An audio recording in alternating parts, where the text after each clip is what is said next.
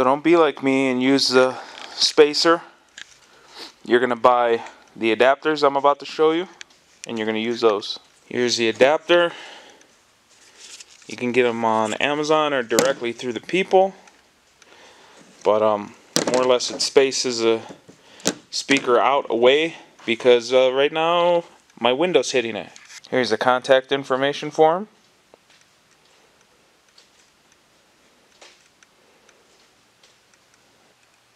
Here's the part number for the front speakers I'm using. Front door, you're going to take a pick of some sort, slide it into the little spot up top, boom, pop it out, done. Take a flathead or plastic if you care more about your interior just pop it off just like that. Take your Phillips screw gun, or you can do it by hand if you really want. And I can't see. Anyways, you got three of these. One in the door handle up here, one here, and one here. You're gonna go around with a panel popper and you're just gonna make sure every panel uh, plastic clip is unpopped. You're gonna also pop this little black piece off. Just work it nice, you don't want to break it. We're gonna undo all the electrical now. Undo this one. Undo this one. There's one all the way on the bottom. Does the little door light.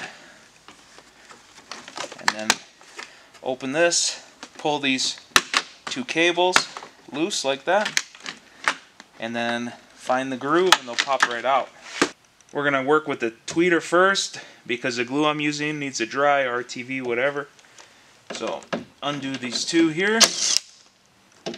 You'll be reusing this hardware and the mount put that down, come over here, and you're going to push the little clip here and unplug it. Here's a tweeter I have for my Alpines. Um, if you were going to drill a hole in the door, this would have been perfect, but it's not what I'm doing, so that's all trash. And this is all I'm going to use, and it's going to go right in here. But before that, I need to get rid of this, and I'm going to show you how to do that right now. You're going to start by just cutting the wires, getting that shit out of here. Then here, there's like some goop. So, you want to get this goop out of here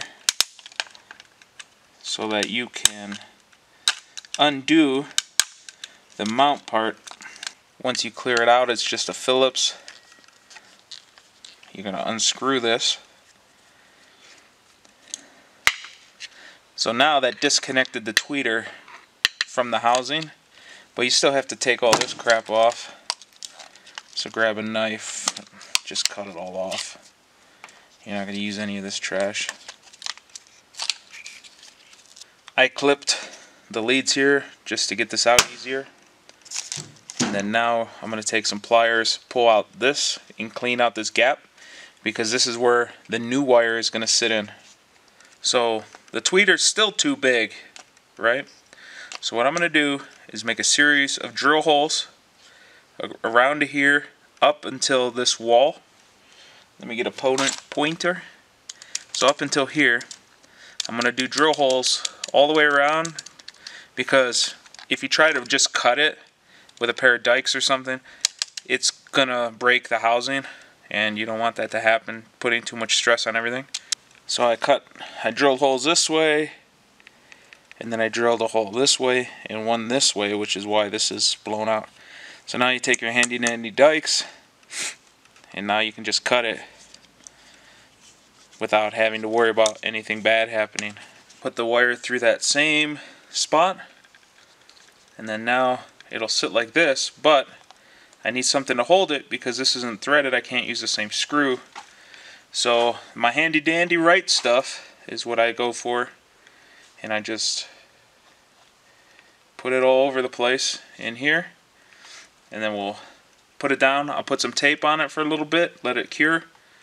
And then uh, pull the tape off. While this tweeter is curing, just sort of leave it up there out of the way. You're going to take the three Phillips screws out of the speaker. So we're going to go ahead and verify the uh, polarity. Looks like left and left and right and right. You're going to match it up like this. So left is brown. Brown is on the thick terminal, so that's positive. So brown actually is brown with a white stripe is positive. Green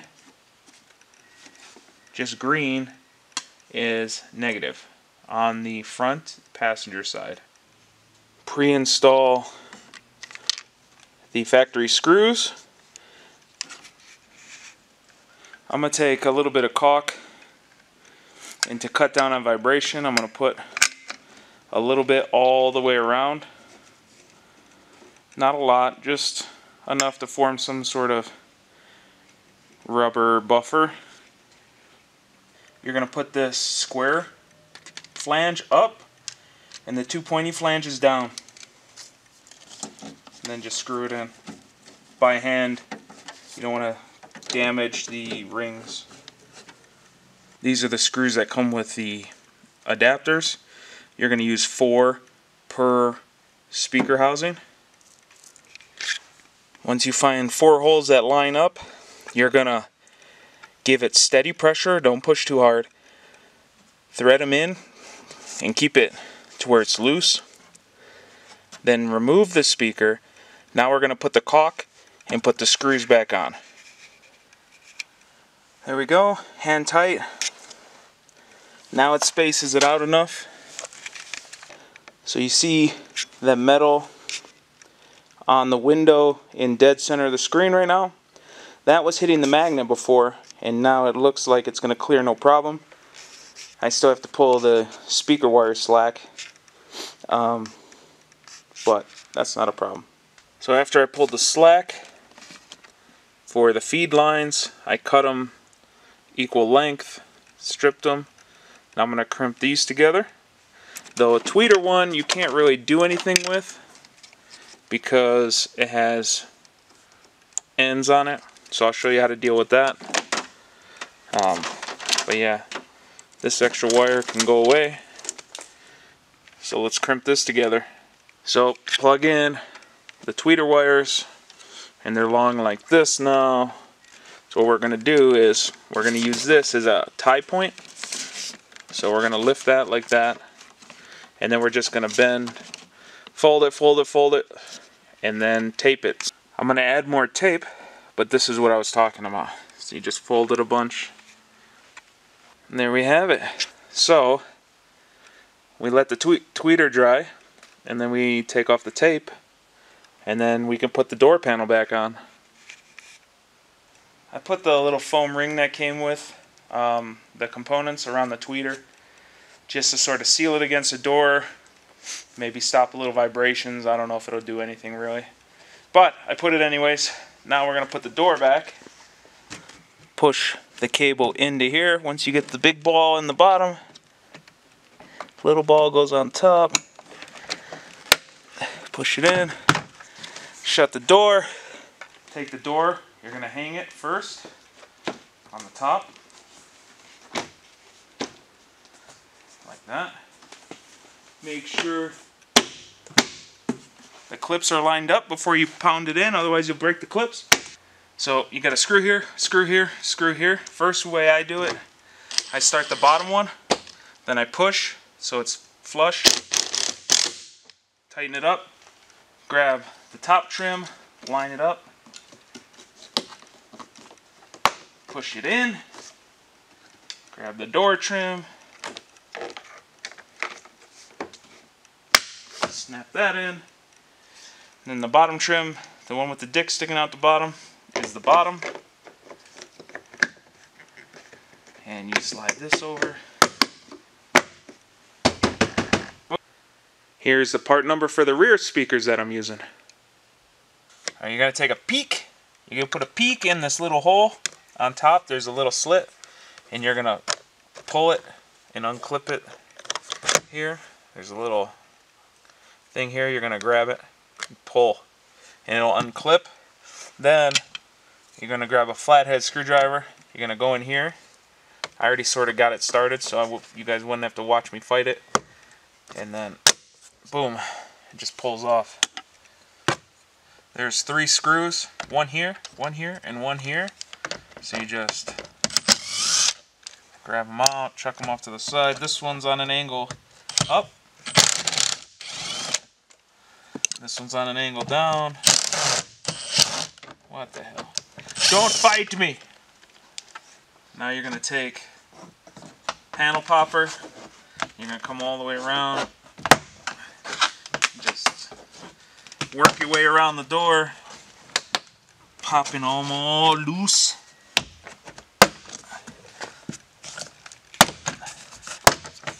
And then you're going to lift up. You have a clip here for the wiring. You just push it down, wiggle it, that comes off. Then over here, this door opens. You pull the two wires out like this, and then they'll come out. There's a little slot, and they'll come out, and now you can take the door and put it down. You're gonna have three screws around the speaker to pull it out. So just take them out. Here is the bracket that came with my speakers. You should probably get something similar in yours. This is what I did to it. So I uh, pretty much hacked the shit out of everything. I, except for this, I left so I can use these self-tappers right here. Then the only other screws out of the kit you're going to use are the short machine screws that came with the speakers to attach them to these. All of these you're not going to use. So you mount it sort of however it'll rotate to fit to where you have a semi-flat surface to uh, put the self-tappers in. Then plug in the speaker. And I like to put the speaker terminals up. Um, just because I don't know how much, you know, water or whatever gets in here. Should never be that much, but anyways, I put the terminals up. You do whatever the hell you want. Now the speaker's screwed in. Uh, next step would be to put the door back on. First thing you're going to do is just plug the electrical in. And that'll sort of hold the door so you can mess with this.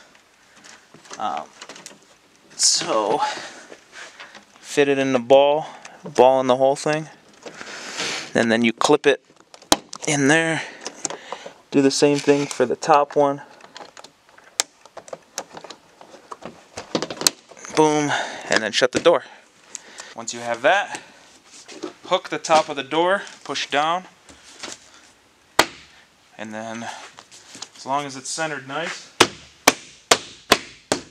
you should hear all the snaps clicking in. Now we're going to put the three screws in.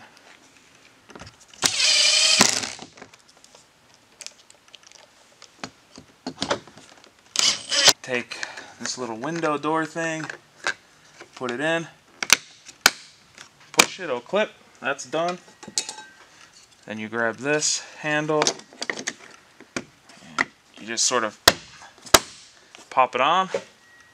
I hope you enjoyed this step-by-step -step video on how to put speakers in this Outback.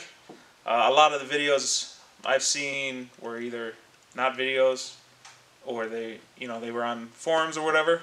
So hit like, subscribe, all that stuff. I'll be trying to come out with more and more videos, especially as I get settled into my new shop, get my lift, and get settled into the house. It's all crazy right now. So hopefully you like this. If you want to help me make more videos, get new stuff, um, hit me up on Patreon. You can, uh, you know, dollar a month or something. I don't know. Whatever you want. Then you can message me and give me ideas for the next videos. Uh, but yeah, till next time, wrench on.